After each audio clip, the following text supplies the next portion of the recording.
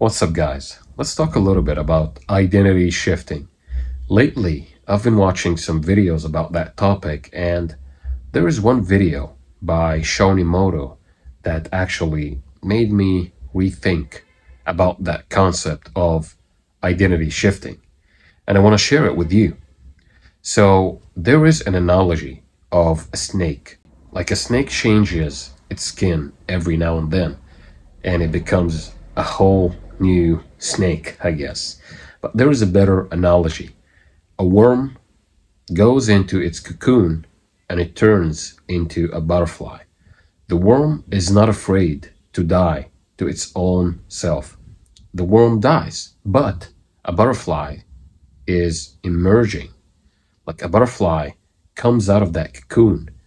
The worm knows that when she goes in there, what will come out of that cocoon is not the same as what entered it. So the worm, like, got no problem with that. So why are you having problems with accepting the idea that you have to change? You have to change. You have to leave and let go of the old personality.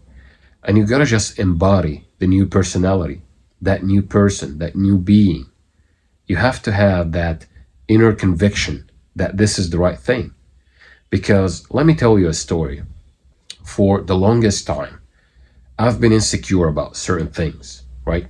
So, for example, I couldn't talk in front of a camera for a long time.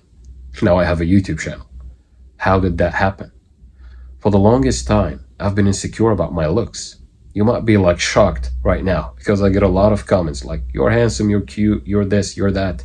Believe me, when your inner like convictions and beliefs are contradicting what's going on in the real life, then you'll have that imposter syndrome.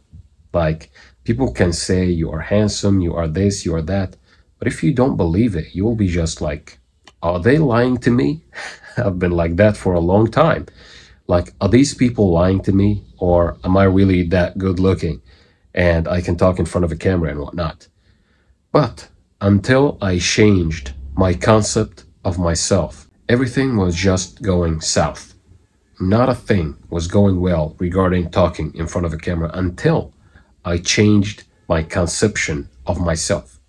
When I talk in front of a camera now, I embody the state of being good in front of a camera, of being a good looking guy, of being good while talking to people.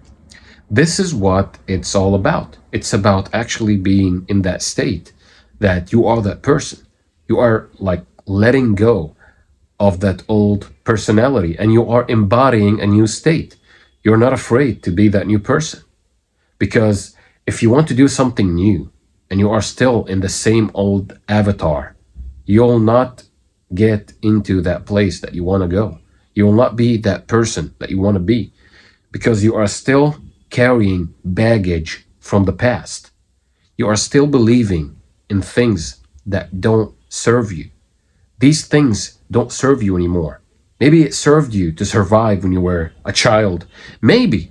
But let me tell you something. It's not serving you right now and it won't serve you in the future. You gotta let go of these things right now.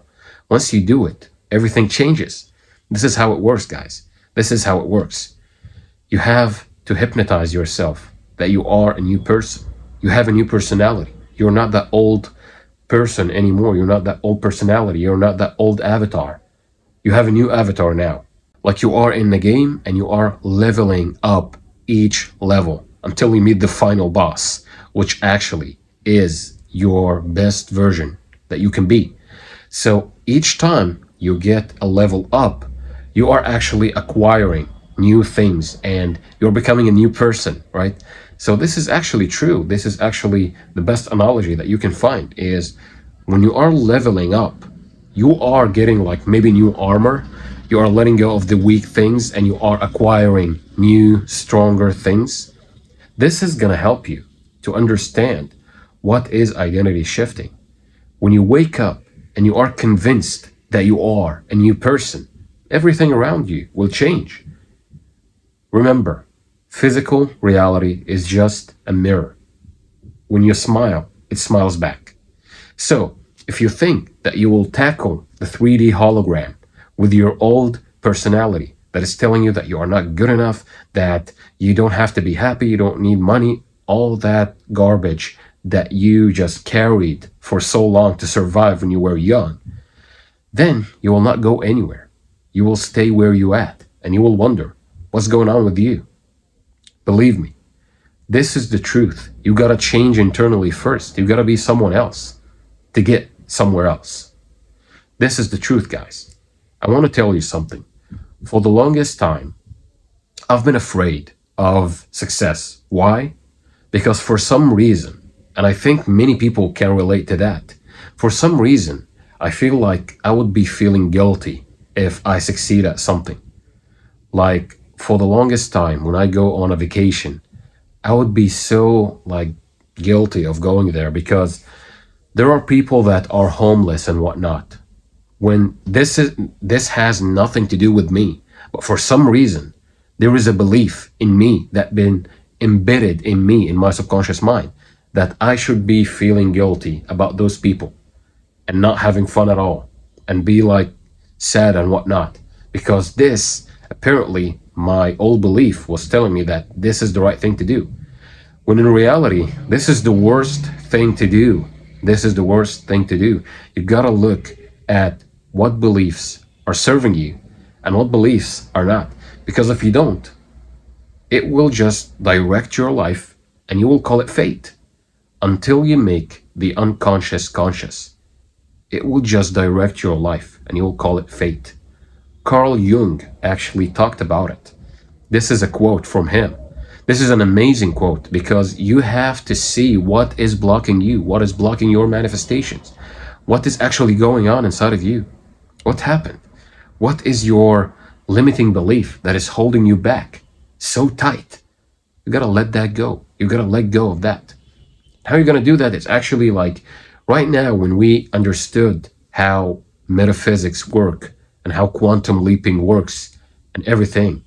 Now we can actually change that. Neville talked about it. Joseph Murphy talked about it. Every great teacher talked about it. Every great teacher. All the religions actually talked about it if you are a religious person whether you are a Jew, a Muslim, a Christian, whatever it might be, you have that in your scripture. You got to change first until everything around you change. You got to change first. And consequently, when you do that, everything around you will change. But first, you have to start with you. You are the starting point. Once you are finished with changing the conception of yourself, you will look around you and be like, wow, everything changed effortlessly. This is the key to it. This is the key to it, guys. So I want to tell you how you can actually change that belief, how you can be another person, identity shifting. How does that work? We're going to talk about that. Right now, I'm going to tell you something. The subconscious mind is suggestible to programming at two times. First, when you wake up in the morning. Second, before you go to sleep at this time, especially before going to sleep, you are performing at alpha and theta brainwave states. These brainwave states are actually like hypnosis. You can hypnotize yourself. You can do it easily. It's so easy to do. How are you going to do that? There are many ways. You can just like listen to tapes like subliminals and whatnot that telling you, listen to affirmations. You can just visualize. But here is my favorite method. It's called SATS, or State Akin to Sleep. It was introduced by Neville Goddard, and way before that by many people. So, let's talk about. How you're going to do that is pretty simple. You're going to sit down or lay down in a slightly uncomfortable position.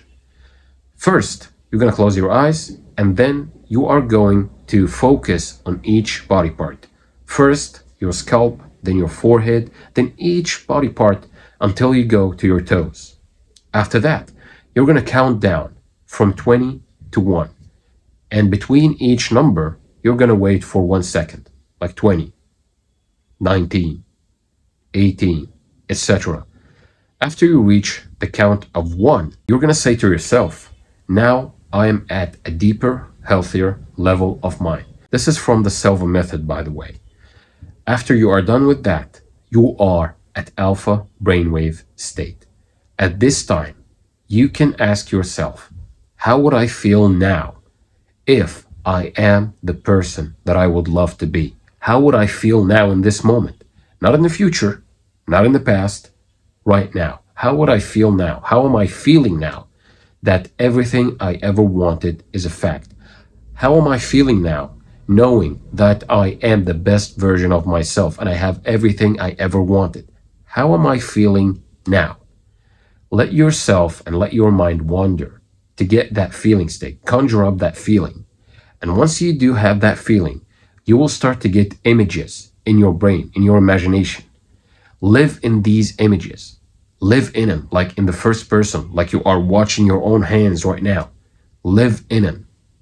Once you do it, you're going to fall asleep peacefully. Peacefully, without anything. You are just going to fall asleep in the feeling of the wish fulfilled.